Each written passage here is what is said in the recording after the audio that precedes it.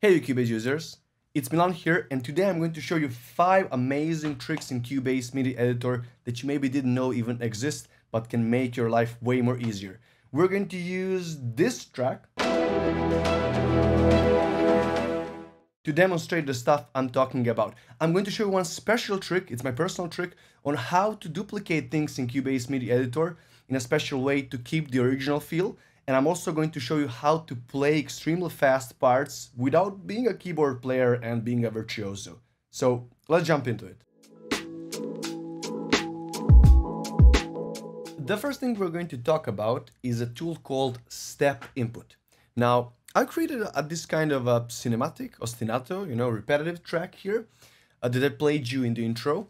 And now I'm going to show you how can you create some fast parts, you know, such as ostinato things, uh, or you know any kind of fast parts and passages you have in your um, arrangements or compositions uh, that you can easily do because I'm not an experienced key, uh, keyboard player and I can't really play piano parts very fast.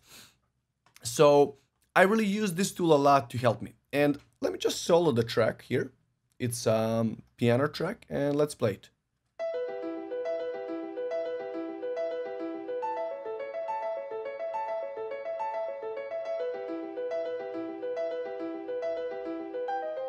Okay, and I have one similar track like that right here down in my strings.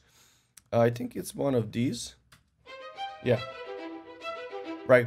The same, it plays the same thing. Okay, so how do we create this, you know, if we can't play it on a piano? So it's something like this. It's basically an E minor chord, and then we have A major, E minor, C minor again. And to do that, let's open the MIDI editor. And let's just make it full size okay? And now I need to input a part something like this. Oh, I'm sorry. Oh, no. Right? This talks a lot about my piano skills. but anyway, uh, so I just wanted to play the fast, the you know, I can't really play that way, that fast, like it played in the composition.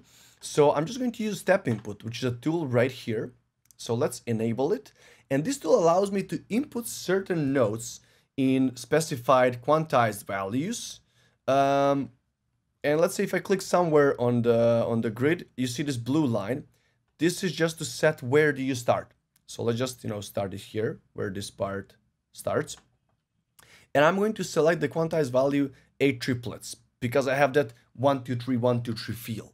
And the next thing I need to do is just to input the notes and they will be inserted for these quantized value. Okay, so if I now just insert the notes, let me just play it. I can just play it separately without thinking about tempo and time, and it will just place it exactly on the tempo for the quantized value I just I've chosen here. So let's play my ostinato notes.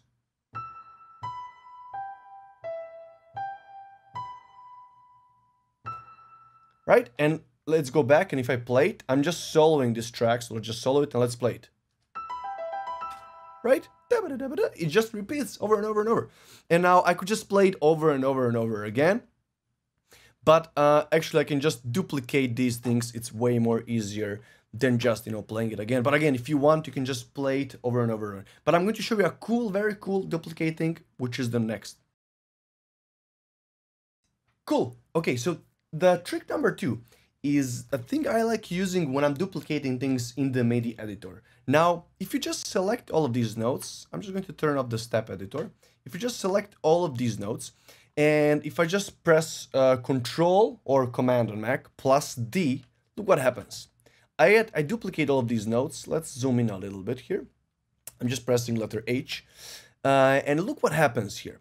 Now, I want this new ostinato part to start at the beginning of the next quarter note right here in this white line. But because when you duplicate things inside the MIDI editor, um, this note continues where the last one was. So I have this B4 note, it ended right here. And I want it to last this long, right? I don't want it to last till the end of this note. But I want this E note to start on, the, on this line here. So to do that, there's one very cool trick. I just add something called a ghost note. So let's use the draw tool and just draw a note that you don't need in this ostinato, maybe some, you know, up higher, so it's visible. And I just draw in that note. then I select my mute tool, and then I mute the note. Now that, you know, so this note is as long as the entire phrase lasts. So if I just select all of these notes and then I press Control plus D or duplicate, look, I have the exact set of notes again here repeating at the exact same positions and starting at this line. So I can just press, you know, how many times I want it. If I just, you know, select it one more time, let's select all of this and I just press, you know, you know as many times as I want. And I quickly get this part repeating. If I play it, right? It goes on and on and on. It's a very convenient trick to use. Now, also there's one more trick. I can just, let me just undo all of this stuff. Okay. Uh, there's also one cool trick. If you know, for example, exactly, I want to repeat this 10 times. So here's, you know, the first one. I can just press Control or Command on Mac plus K. And then this repeat events option appears.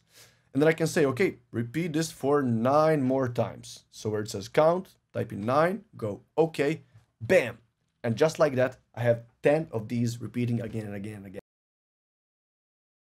Now that we have our ostinato playing and we have that repetitive thing and we've seen the step input and stuff, now let me show you some cool, you know, MIDI tweaking, editing, moving notes, things that can be very, very useful and the things that you should know. So the first one would be to move any of these notes. Let's say you want to change the pitch of this note.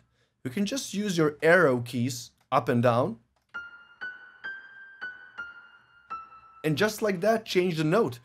Or we can select a section of notes, like these here, and I can just hold shift and press up and move the entire section for an octave up, or just press shift and go down and down again, and then test it. Okay, maybe I want it to go like this. So let's say I select this one and I move this one for an octave up.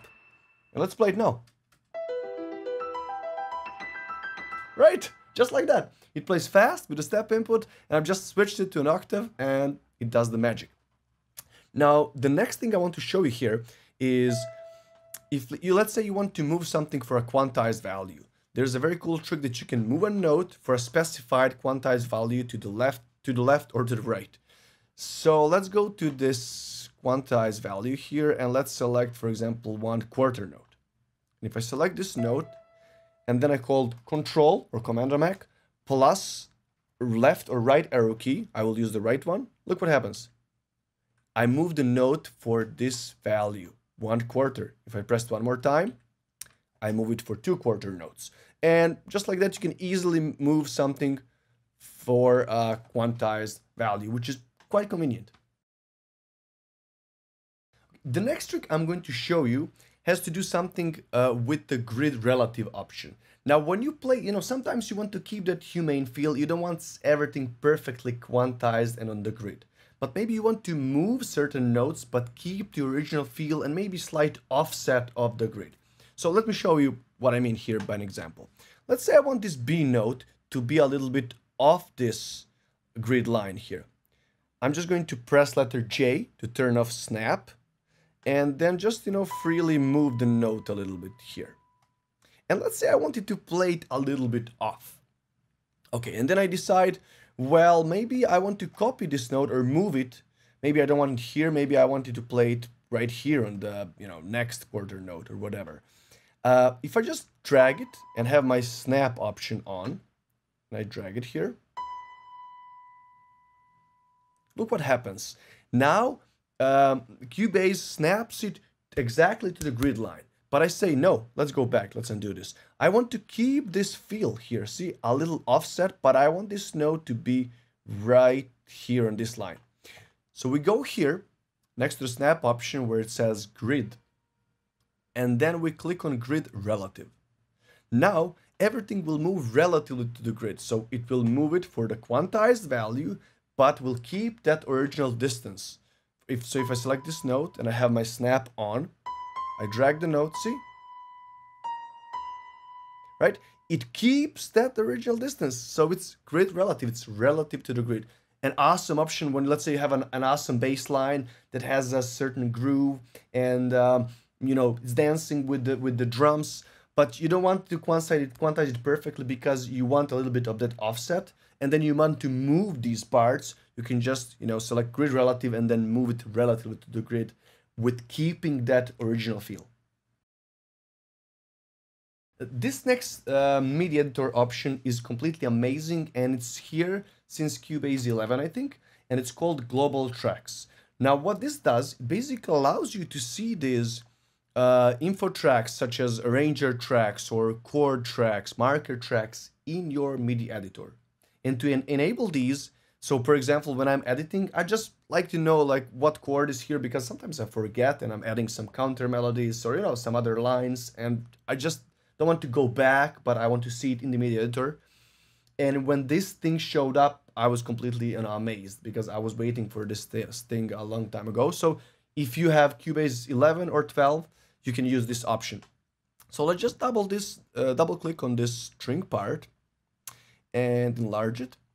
And now if I go to the left, let's turn on the left zone, you have this option global tracks. Now we can select any of these tracks. Uh, so I'm going to turn on chord track and just like that, I can see what chords are being played inside the MIDI editor. Uh, or I can add markers or arrangers. Now I only have one arranger um, section here, so I didn't add because I've created this track just specifically for this lesson. But anyway, uh, quite convenient thing, you know, when adding some extra harmony layers, good to know what chord is playing here you don't want to sound weird or you know to add too much disharmony or whatever it is. Uh, I hope you like these tricks. Please write down in the comment section, do you use any of these tricks or what are your favorite things to do in inside the MIDI editor? Also, please uh, help me grow and subscribe and like this video so I can reach more people and grow my channel better. That helps tremendously. And also, if you completely want to master Cubase, check out the description below. Um, you can check out my complete Cubase mastery course, which is a 12 hour course that will help you to completely get full control over the program. And this is it for today's video. See you in the next one.